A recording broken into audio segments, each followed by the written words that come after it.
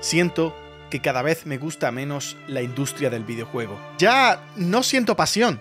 Muy pocos juegos me hacen ilusión de verdad. Y cuando me ilusiono por uno, luego, finalmente sale y está roto o es malísimo. No sé si soy yo que he cambiado o son los videojuegos. Muchas veces me frustro porque siento que ya no me ilusionan los videojuegos como antes. A veces sale una joya indie que me ilusiona y me motiva de verdad y me gusta, pero luego vuelvo a lo de siempre. Pocos juegos hay que me gusten ya.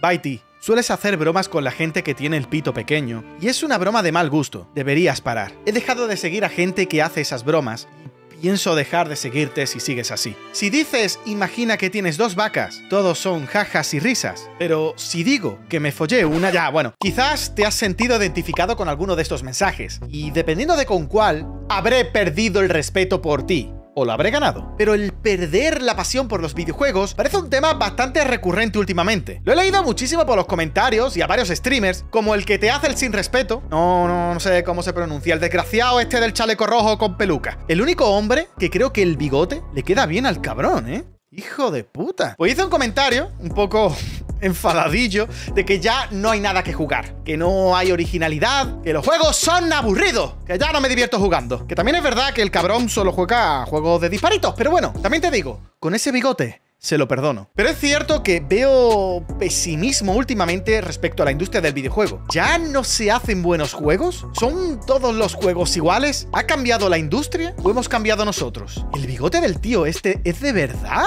o...? Los suscriptores me han pedido que hable sobre los problemas de los videojuegos, cómo no hacerlos y por consiguiente por problemas que está teniendo la industria del videojuego actualmente. Podría haber hecho una lista, rollo top cagadas de la industria del videojuego 2023 actualizado mega pero sinceramente me apetece profundizar un poquito más en este tema. Pues muy bien, ¿por dónde empiezo? ¿Los juegos antes eran mejores? ¿Somos nosotros los que hemos cambiado? Deja que esto lo conteste el abuelo Baiti. ¡Ay! ¡Ay, cómo me duele la espalda, coño! ¡Ay, todo esto antes campo! la música de antes era mejor! ¡Niño! ¡Niño! ¡Niño! ¡Espabila! Coño, y escucha, que soy mayor y me tienes que escuchar, que la vida te va a comer. Los videojuegos de antes, esos, esos sí que molaban, no las mierdas estas que jugáis ahora. ¿Qué es esto de Fornite? Eso, eso es una mierda. Los juegos en mis tiempos, oh, eso sí que eran juegos. Que, que encima eres gilipollas y te has comprado la skin de Digref. Dos años tardó en sacarla, niño. Dos años. Y el abuelo Baiti tiene parte de razón. ¿Por qué?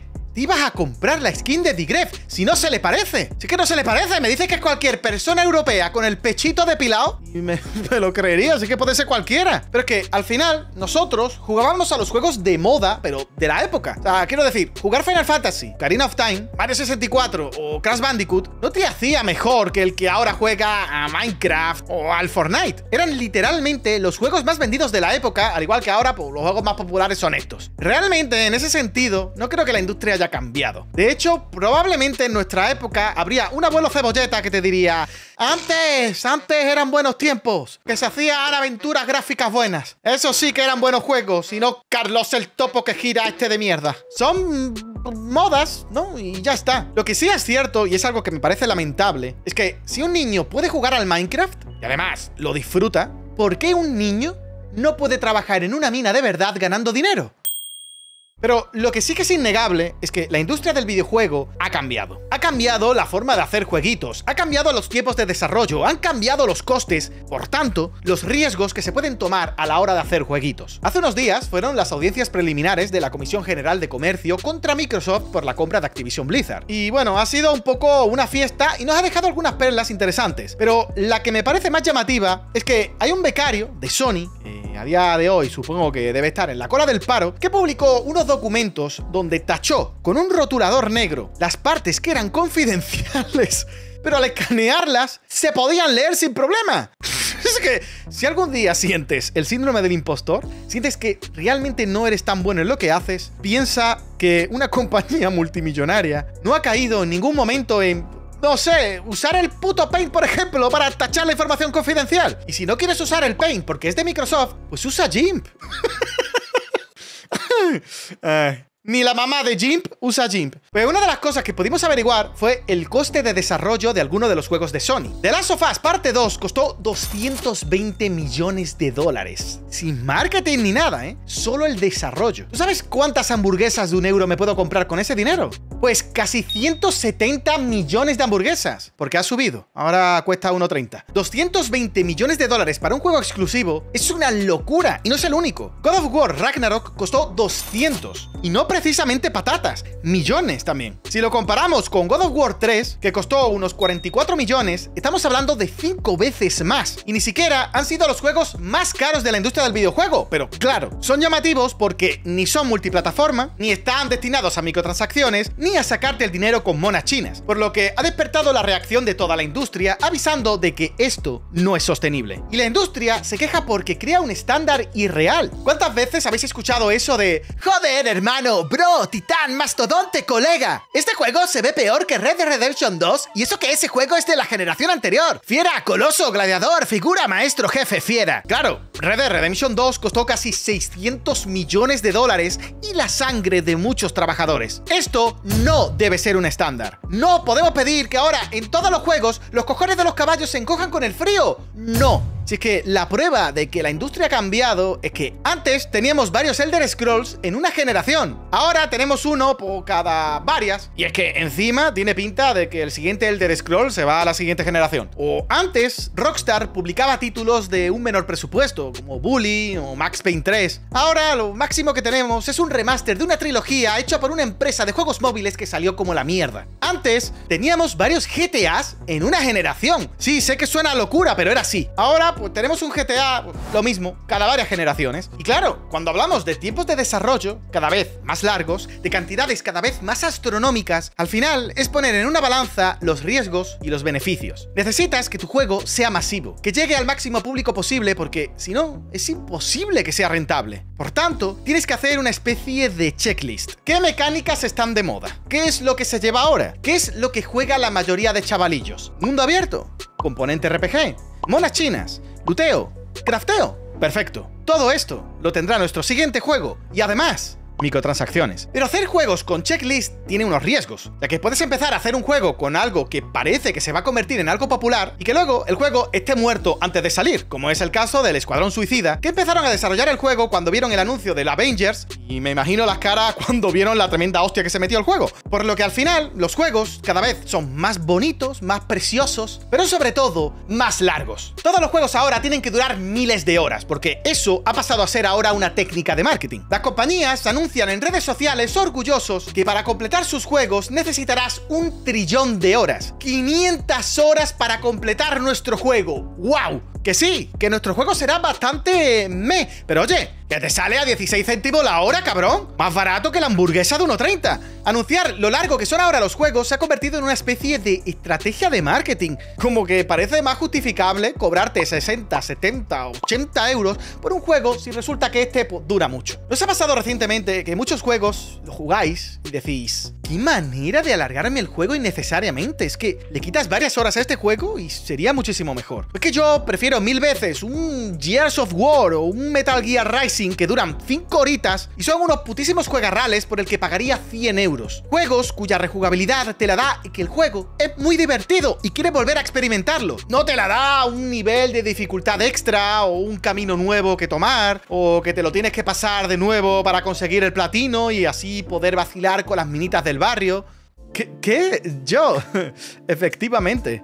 Tengo el platino del Gollum. Eh, ¿A, qué hora quieres tener la cita conmigo en el McDonald's? Eh, te paso a recoger a las 8. Tengo un 2x1 en McFlurry, churri. Juegos con los que no paro de sentir que me están haciendo perder el tiempo porque es que es lo que toca. Así pues rascamos varias horitas más que podemos aprovechar para la campañita de marketing. Me da igual que un juego dure lo que tenga que durar si esto está justificado. O sea, me he metido 80 horas del Divinity por el culo y me he gozado cada minuto. Lo que me molesta más es sentir que estoy perdiendo mi tiempo. Y pocas cosas hay que me frustren más que sentir que estoy perdiendo el tiempo jugando. Que estoy en una fase, una misión, una sección, un acto que realmente no tendría que estar ahí. Que los desarrolladores no querían que estuviera ahí, pero que tenía que estar por órdenes de arriba porque el juego tiene que tener una duración mínima. Porque es que eso es lo que vende ahora por lo visto. Que dure un gritón de horas. Recientemente me he pasado Diablo 4 Y no os confundáis, el juego me ha gustado. Y Lilith se puede sentar en mi cara sin ningún tipo de problema. Pero no he podido evitar sentir que hay secciones que están por alargar.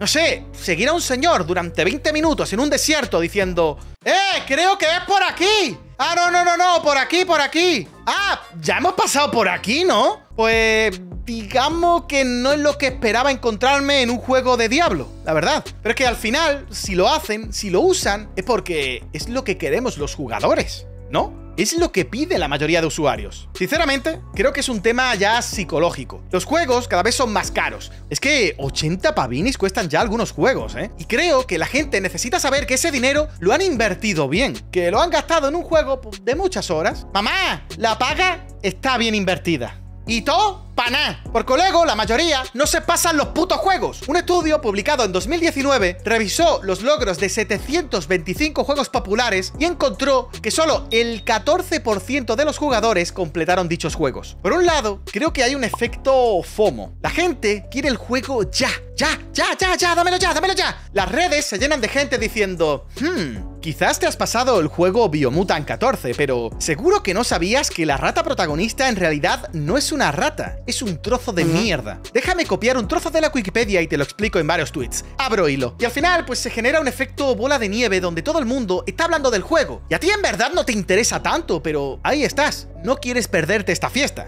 Quieres formar parte de todo esto. Así que sucumbes, sabiendo que dejarás ese juego en la estantería sin terminar. Que resulta que ha salido un nuevo juego del que todo el mundo ahora habla y también tienes que comprarlo. Así que lo aparcas temporalmente hasta que te termines el otro. Postdata, no lo harás. Deja de mentirte a ti mismo porque haces llorar al niño Jesús, pedazo de mierda seca. O peor todavía, te lo pasas a prisas, te lo pasas corriendo, sin prestar mucha atención, sin sumergirte en la jugabilidad, sin profundizar en la historia, porque la semana que viene sale un nuevo juego al que también le tienes muchas ganas y se te están empezando a acumular y tu compañero de trabajo, el Juanfran, es un pedazo de hijo de la grandísima puta y sabes que te lo va a spoilear. Así que te lo acabas y mira tú por dónde no te ha gustado, los juegos ya no son como antes. Y esto se ha extendido también a otras partes de la industria, porque esto es el concepto de AAA, ¿no? De juego blockbuster, de juego de gran presupuesto. Pero también está ese juego AA, esos juegos con un presupuesto más contenido que parece que están desapareciendo. Porque claro, si el baremo que tenemos ahora en que un desarrollo AAA no baje de los 100, 200 millones de dólares, pues cuánto tiempo de desarrollo y presupuesto tiene que tener un juego más discretito, lo que sería un AA. Vaya, 50 40,